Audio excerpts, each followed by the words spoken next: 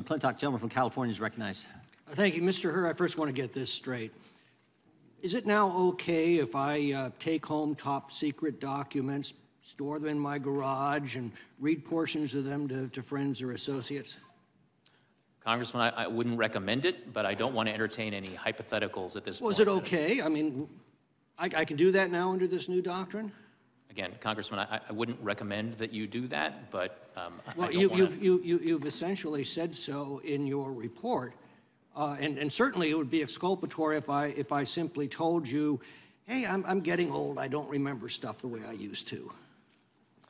Congressman, I, I'm not here to get into hypotheticals. I'm here to talk about the facts and the work that I did in It was the not a hypothetical, this is the issue at hand.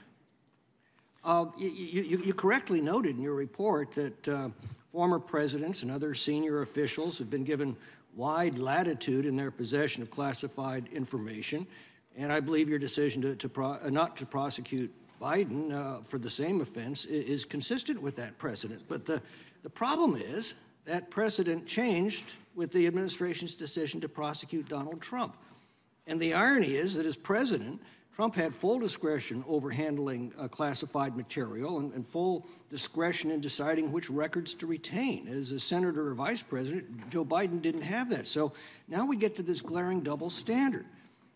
I think it would be toxic to the rule of law on its face if it was just two ordinary citizens. But the fact that the only person being prosecuted for this offense happens to be the president's political opponent makes this an unprecedented assault on our democracy. This is the worst we could expect from a banana republic. And I, wonder how you square this. Congressman, I do address, as I was required to as a prosecutor, uh, a relevant precedent in the form of the alleged, the allegations in the indictment against former President Trump. I, I set forth my explanation and my assessment and comparison of those precedents in my report, and I, I am not here to comment any further be, uh, Well, beyond well what's in you, my you, report. you said, for example, that, that um, uh, uh, there, there was no evidence beyond reasonable doubt. Well, you got the fact that he had classified material in his possession and control in multiple settings for multiple years, that he told others he was aware of this, and that he shared that material with others. The mind boggles at what beyond reasonable doubt would actually mean.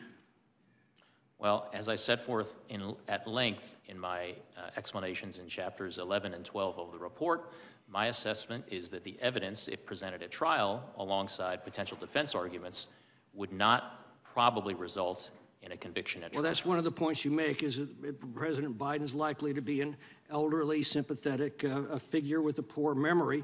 But how does that bear on any individual's guilt or innocence?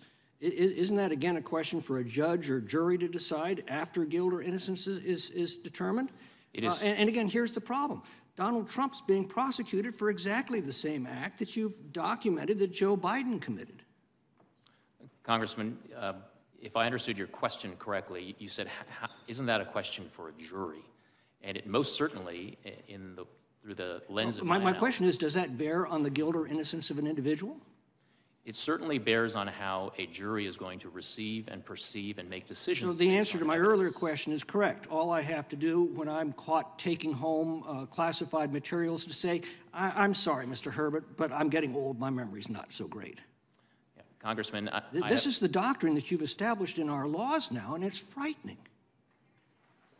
Congressman, my intent is certainly not to establish any sort of doctrine. I had a particular task, I have a particular set of evidence to consider and make a judgment with respect to one particular set of evidence, and that is what I did. Well, Mr. Hur, here's, here's the fine point of the matter. The, the foundation of our justice system is equal justice under law. That's what give the law uh, its, its respect and its legitimacy. And, and without it, the law is simply force, devoid of any moral authority. Justice is depicted as blindfolded for, for this very reason. It doesn't matter who comes before her, all are treated equally. You destroy this foundation, and the rule of law becomes a sick mockery.